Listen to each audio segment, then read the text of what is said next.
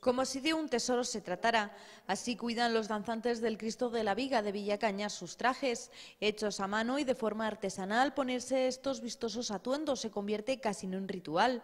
Pueden tardar más de una hora y necesitan varias personas para vestir a cada uno de los danzantes.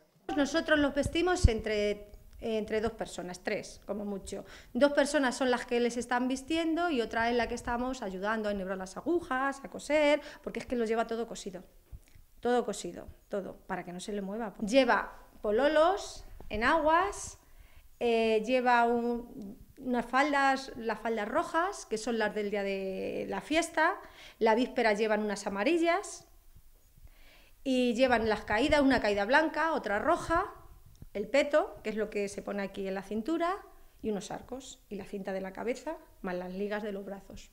Hace un tiempo los danzantes de Villacaña recibían una llamada muy especial.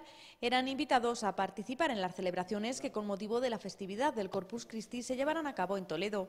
Un orgullo para todos ellos, ya que podrán llevar a la capital regional su fiesta más importante.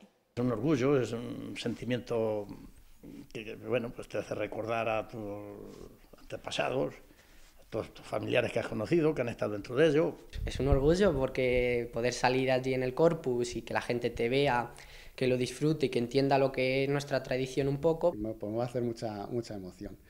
No suele acostumbrarse a salir del pueblo las danzas, entonces pues es una ocasión también que tienen todos los toledanos para verlo pues estas danzas. La noche del 18 de junio, las danzas y paloteos de los danzantes del Cristo de la Viga embriagarán de color, sonido y tradición la ciudad de las tres culturas.